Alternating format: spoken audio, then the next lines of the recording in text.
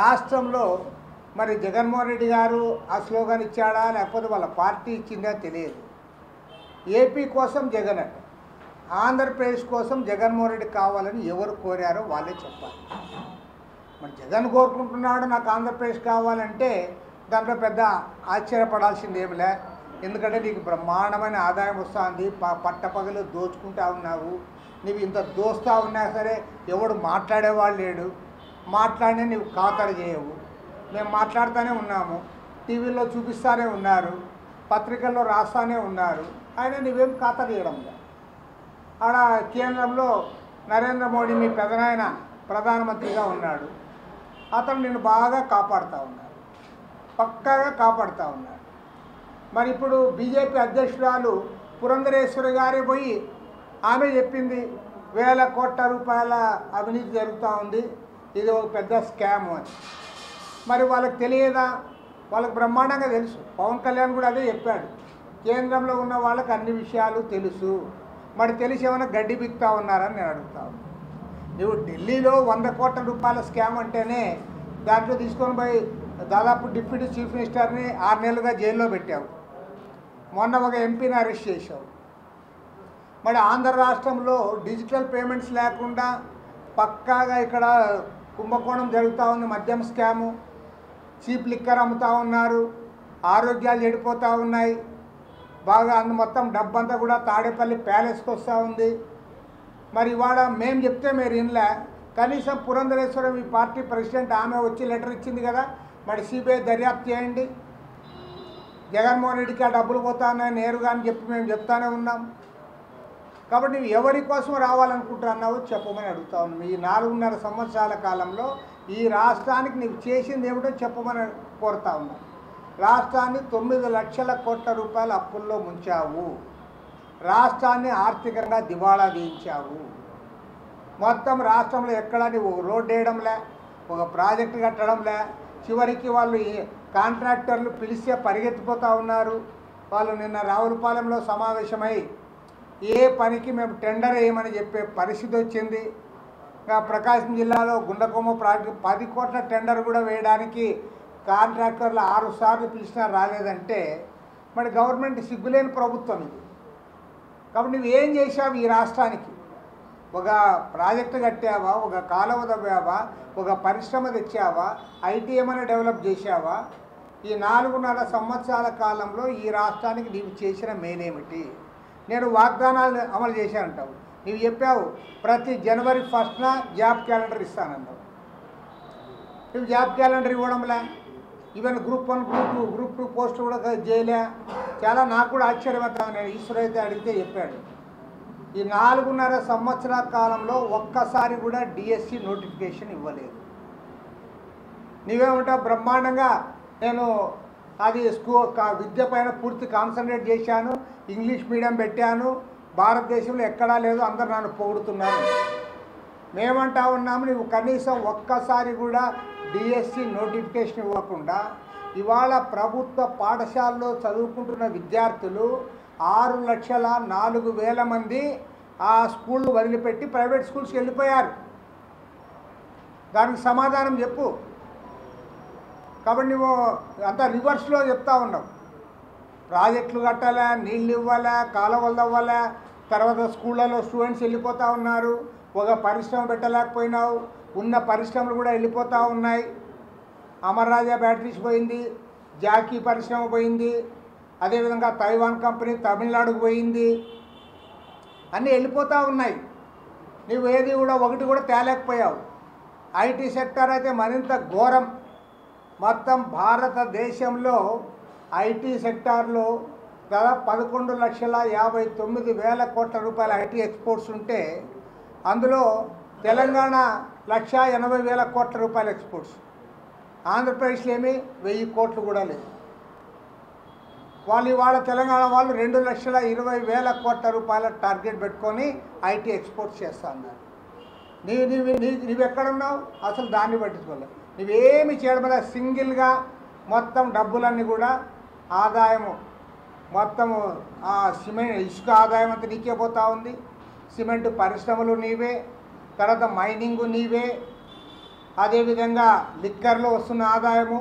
ఆ ఆదాయాన్ని అంతా పెట్టుకొని ఇప్పుడు మళ్ళీ why not one seventy five అని ముందుకు పోతా ఉన్నావు వైట్ వన్ సెవెంటీ ఫైవ్ అనమాట అంత గట్టిగా ఎందుకు చెప్తున్నావంటే నీవు ఓట్ల దొంగ ఓట్ల పైన ఆధారపడినావు. ఉన్న ఓట్లను తొలగించడము దొంగ ఓట్లు చేర్పించుకోవడము ఓటుకి ఐదు వేలైనా సరే డబ్బులు పంచడానికి రెడీ కావడము ఆల్రెడీ నూట డెబ్బై ఐదు నియోజకవర్గాల్లో కూడా డబ్బులు ఎక్కడైతే తనకు నమ్మకస్తులు ఉన్నారో వాళ్ళ ఇళ్ళలో చేర్చారని కూడా చెప్తా ఉన్నారు.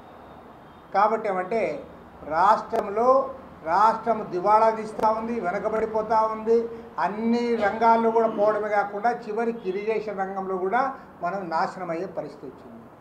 నీవు ఇవాళ ఒక దోపిడీ రాజ్యాన్ని నడుపుకుంటూ మళ్ళీ నా ప్రజల ఏపీ కోసం జగన్ అని నువ్వు చెప్పుకుంటున్నావంటే మరి నిన్ను ఏమనాలో మాకు అర్థమే కాదు నీకేమన్నా మైండ్ సెట్ ఏమైనా దొబ్బిందేమో తెలియదు. లేకపోతే నిన్ను ఎవడు కావాలని కోరుతా అన్నాడు ఇంత దుర్మార్గమైన అరాచక పాలన పోలీసు రాజ్యం ఎవడు కోరుకోడు. నువ్వు నువ్వు అన్న నాకు మళ్ళీ నన్నే కోరుకుంటున్నారని నేను చెప్పుకుంటా ఉన్నావు కాబట్టి ఏమంటే ప్రజల్ని డబ్బుతో కొని దొంగ ఓట్లతో మళ్ళీ రాజ్యానికి రావాలని ప్రయత్నం చేస్తూ ఉన్నావు. ఖచ్చితంగా ప్రజలను చీదరించుకుంటా ఉన్నారు. ఖచ్చితంగా తగు రీతిలో నీకు బుద్ధి చెప్తారు. ఆ రకంగా బుద్ధి చెప్పడానికి మేమందరం కూడా సమాయత్తం అవుతాం. రెండు వేల పంతొమ్మిది ఎన్నికల్లో ఏ సర్వే అయితే సక్సెస్ అయిందో ఆ ఆత్మసాక్షి సర్వే వాళ్ళు దాంట్లో రాలే కదా. దాంట్లో క్లియర్గా చెప్పారు. తెలుగుదేశం జనసేన సిపిఐ సిపిఎం ఈ నాలుగు పార్టీలు కలిసి పోటీ చేస్తే యాభై నాలుగు శాతం ఓట్లతో డంకా బజాయించి అధికారం వస్తుంది అని చెప్పారు. జగన్మోహన్ రెడ్డి చిత్తు చిత్తుగా ఓడిపోతాడని ఆ సర్వే చెప్పింది. మేము ఆ సర్వే మరి పోయినసారి రెండు వేల పంతొమ్మిదిలో అది సక్సెస్ అదే నిజమైంది కాబట్టి ఈసారి మళ్ళీ అదే నిజమవుతుందని మేము అనుకుంటాం. అదేవిధంగా తెలుగుదేశం జనసేన పార్టీకి కూడా చెప్తాను. మీరు బీజేపీని మానుకోండి అయినా చాలు. బీజేపీ వాళ్ళే ఇతను నడిపిస్తూ ఉన్నారు. మోడీ యొక్క సహకారంతో ఇవాళ చంద్రబాబు నాయుడిని ఆయన లోపల పెట్టగలిగాడు. వ్యవస్థలను మేనేజ్ చేయగలుగుతా ఉన్నాడు. లేకపోతే వెరీ సింపుల్ అది. నువ్వంటే చంద్రబాబు నాయుడు తప్పు చేస్తే అరెస్ట్ చేయకూడదని నేనేం చెప్పను. ఎవరూ చెప్పడానికి లేదు. నేను తప్పు చేసినా లోపల పెట్టాల్సిందే.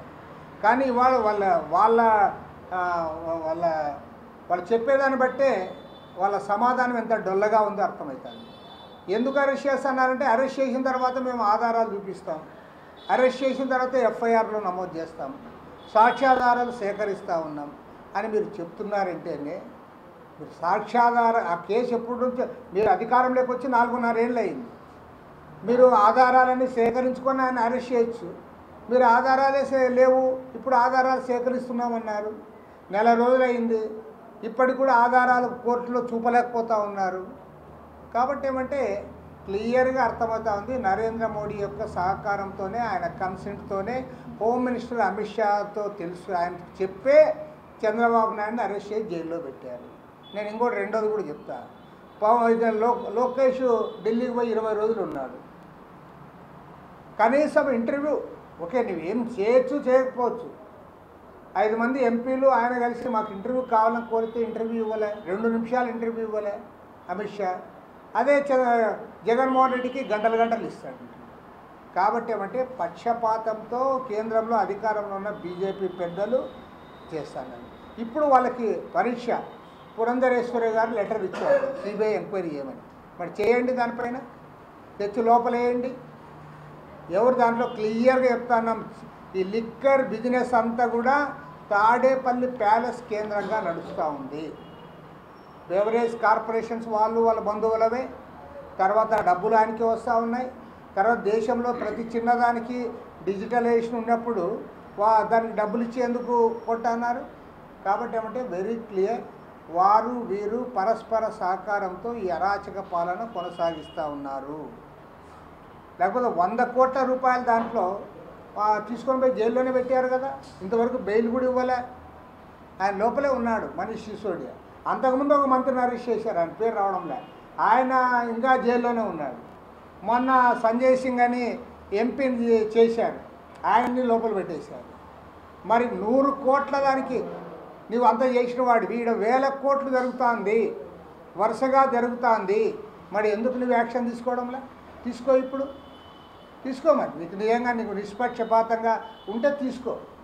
కాబట్టి ఏమంటే వీళ్ళిద్దరూ కలిసి నడుస్తూ ఉన్నారు కలిసి ప్రయాణం చేస్తారు. ముందస్తు వస్తే వెల్కమ్ చెప్తాము ముందు ముందుగా వస్తే ముందుగానే ఇతను ఇంటికి పోతాడు. మేమంతా ముందస్తు ఎన్నికలకి మేము కూడా ఆరాట పడతా ఉన్నాం. ముందుగా ఎలక్షన్లు వస్తే ఈ మహానుభావుని ముందుగా ఇంటికి సాగనంపుతారు ప్రజలు. రాష్ట్రానికి మేలు జరుగుతుందని చెప్పి కూడా నేను భావిస్తాను. పవన్ కళ్యాణ్ చెప్పింది ఏమంటే నేను ఎన్డీఏలో భాగస్వామిని అయినప్పటికీ బయటకు వచ్చి నేను తెలుగుదేశంతో పొత్తు పెట్టుకున్నానని చెప్పాడు. అది వాస్తవమే. ఇప్పుడున్న పరిస్థితుల్లో బీజేపీని ధిక్కరించి కేంద్ర ప్రభుత్వాన్ని ధిక్కరించి ఒక చిన్న ప్రాంతీయ పార్టీ ఆ రకంగా అనౌన్స్ చేయడం అనేది నిజంగా అభినందించదగ్గ విషయమే. అది ఓకే.